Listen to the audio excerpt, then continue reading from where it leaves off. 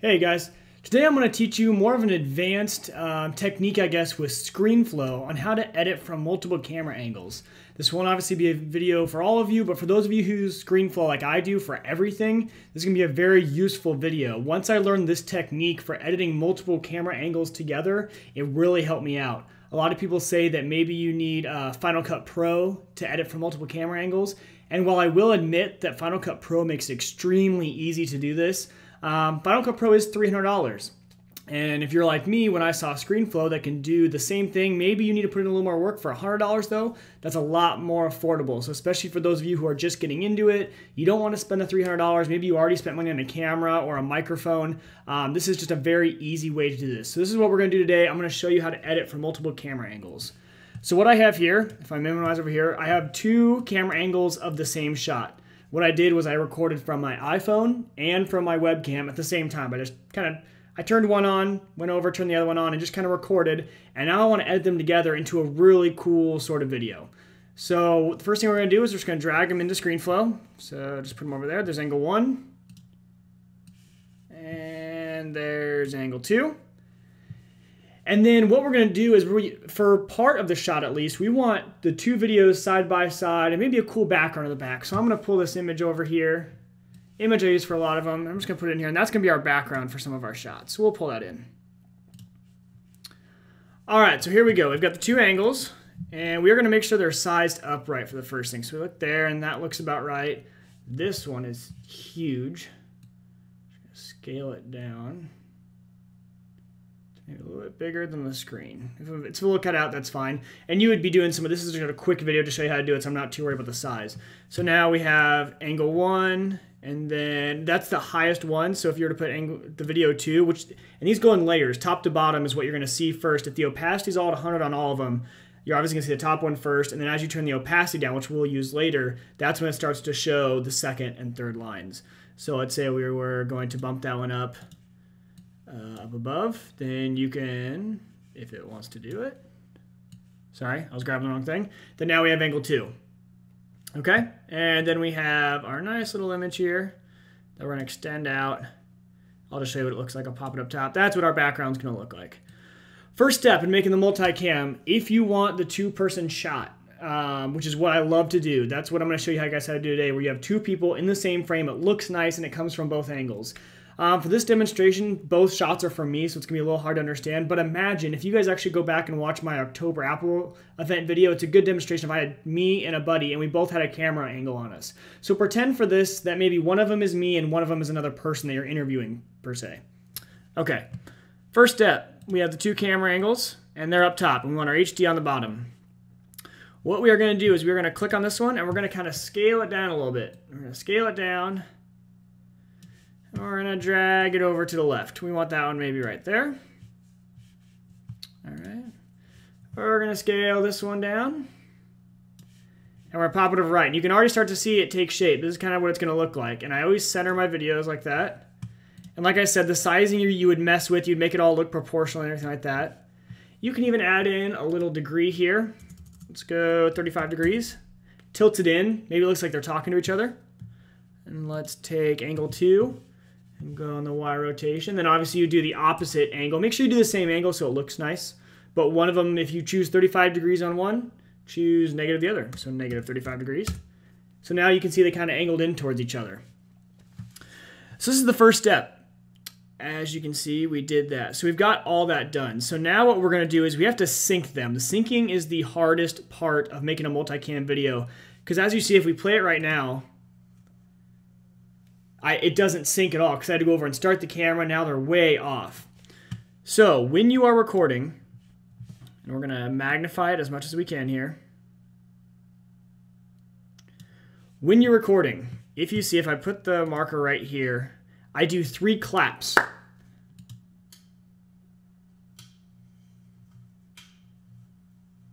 So you see I did three claps. What that does is it makes spikes in the audio. So these videos, they'll show the audio and it'll make a spike right where those claps are. And that's what we're going to use to sync. So here's where kind of the magic happens. So what we're going to do is we're going to scoot it over and try and line these up as best as possible. Now that looks really good, but I'm going to zoom in even more. When you want to zoom in as far as you can on that little down by the microphone glass. And you can see I'm just barely off here. You'll never be able to get it perfect, but it zooms in close enough um, on ScreenFlow to get it pretty close. You can see I have a little bit of an echo. I can nudge it over a little bit. Let's see how that sounds. Okay.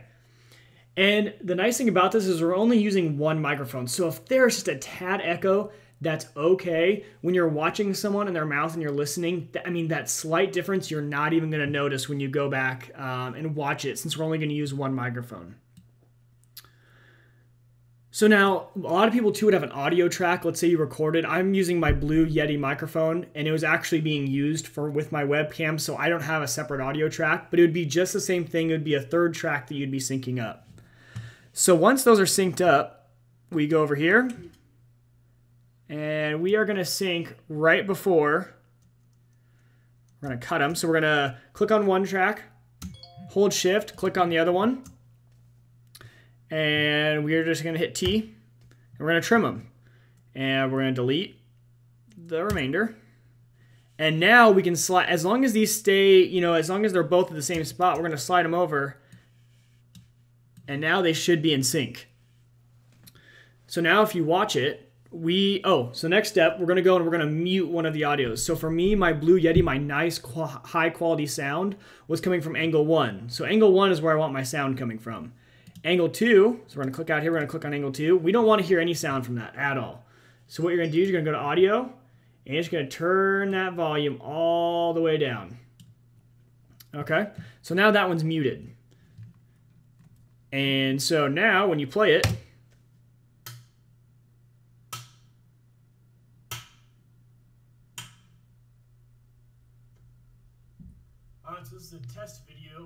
we can see that it looks really nice. It's all in sync, everything plays, and when you start to go through, so what would happen is maybe we're right now we're looking at two separate screens. We want to see both people.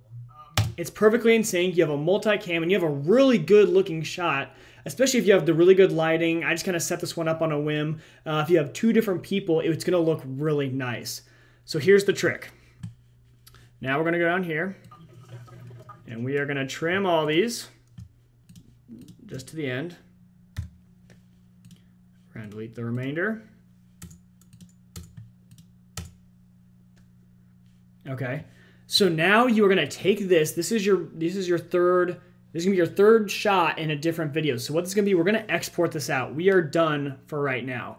But keep the ScreenFlow window open. So what we're going to do, we're going to file, we're going to go to export.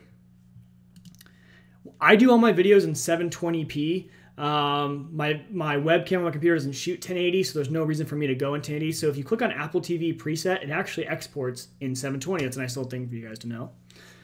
So you're gonna click export, and we'll just go to my desktop and we'll say this is your multi-cam shot. Okay. So now that's going to export. Okay, so now that it has uh, finished exporting, we're actually going to bring the video that we just exported back into this. So I exported it to my desktop, and we'll look at it real quick to, so I can show you what it looks like. So if we open this up, oh my gosh, it's open in Spotify. We don't want that. Let's open it with QuickTime. So it's kind of confusing to see. Let's minimize the ScreenFlow real quick. So this is what we ended up with we play it.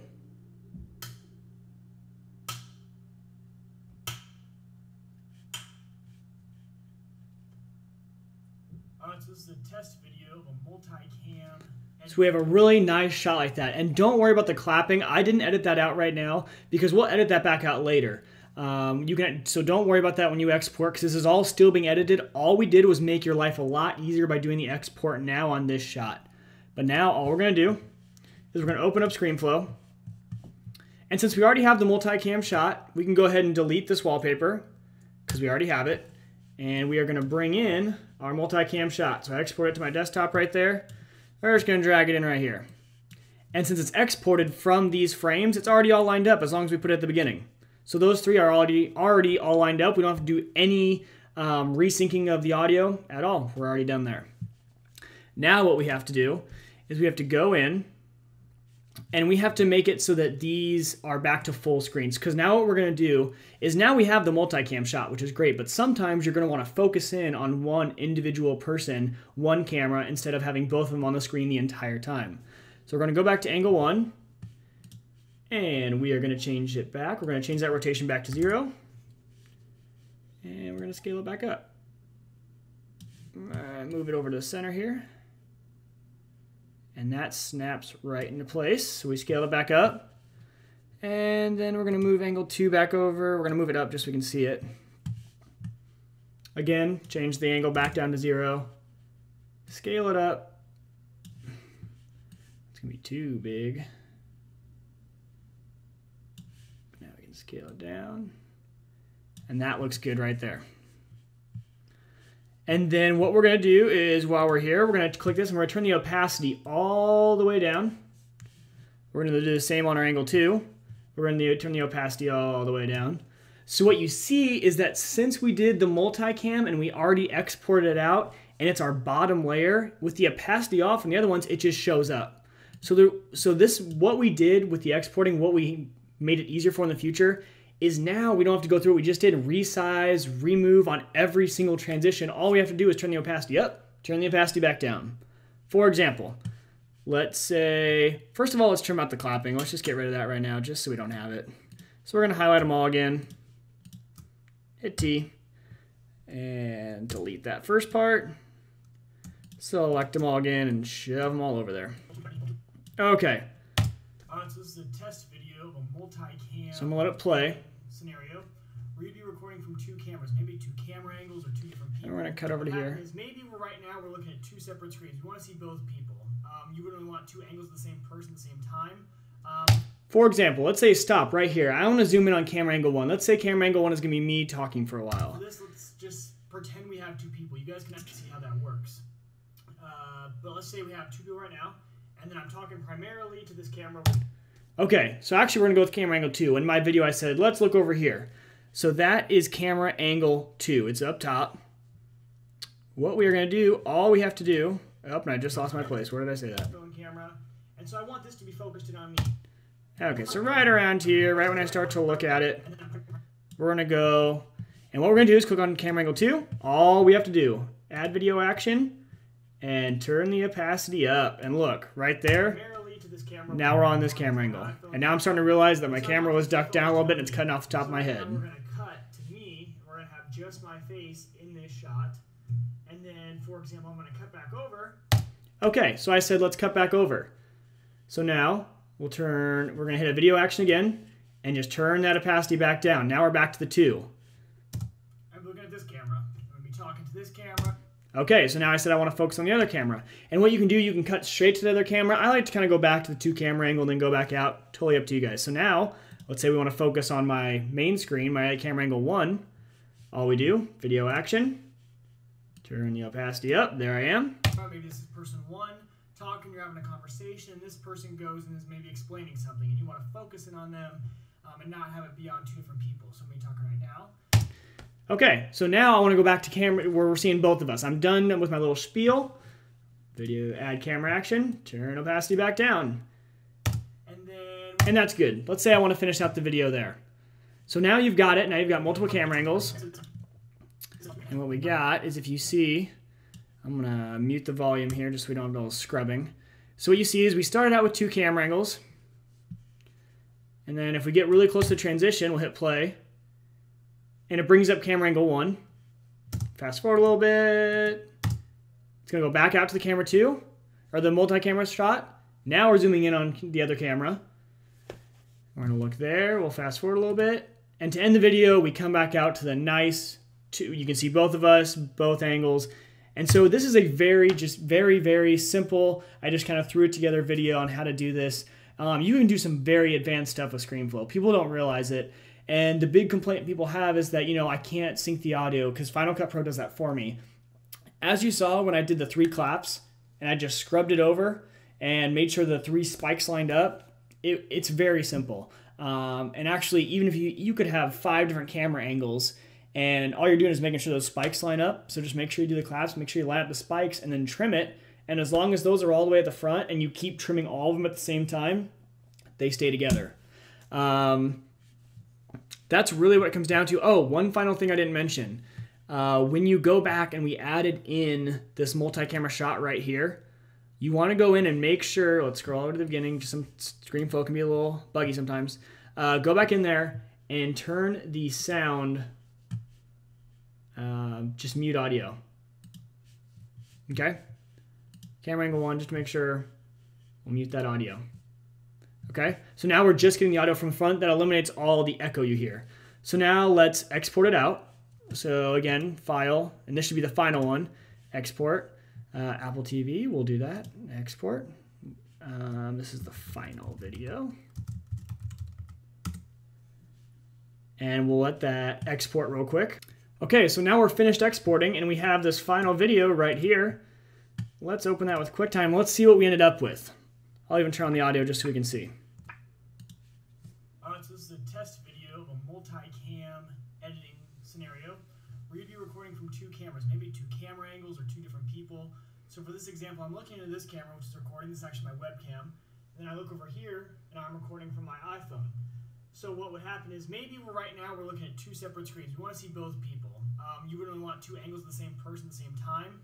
Uh, but for this, let's just pretend we have two people. You guys can actually look at my October Apple review um, video to see how that works. Uh, but let's say we have two people right now, and then I'm talking primarily to this camera over here. I'm talking to my iPhone camera, and so I want this to be focused in on me. So right now we're going to cut to me, we're to have just my face in this shot. And then, for example, I'm going to cut back over.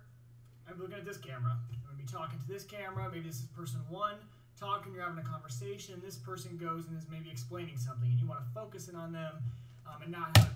Great. So now you can really see the power of ScreenFlow, how easy that was. I mean, that was just a few minutes, and we have a multiple camera video ready to go. Um, what I do is, so when I'm doing that, I make the video, and I in the Apple review um, video that I referenced, I had 45 minutes worth of footage. All I did, I made the multiple camera shot first, like I showed you, exported it out, brought it in, and then I just sat there watching the video, and I said, okay, uh, my guest is talking for a while.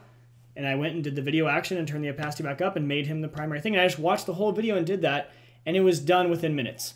Um, we had a beautiful multiple camera shot, and you can do stuff. You wouldn't need to make them full screen if you wanted to, and you can add in titles and everything. I just want to get that out there to you guys. So I hope this helped you. If I rushed over anything and you have any questions at all, feel free to email me, mike at wiegertech.com tweet me at mwieger. Go to my website, wiegertech.com. I am more than happy to um, answer questions for you, uh, go into length on anything. I'll even Skype you and help you out if you need. I just want everyone to have an awesome experience, and especially with ScreenFlow, I love supporting them because it's a great piece of software, a third of the price of Final Cut Pro, and it's extremely powerful um, when people uh, find the inner power it has and use all the features. So I hope you guys have a great day.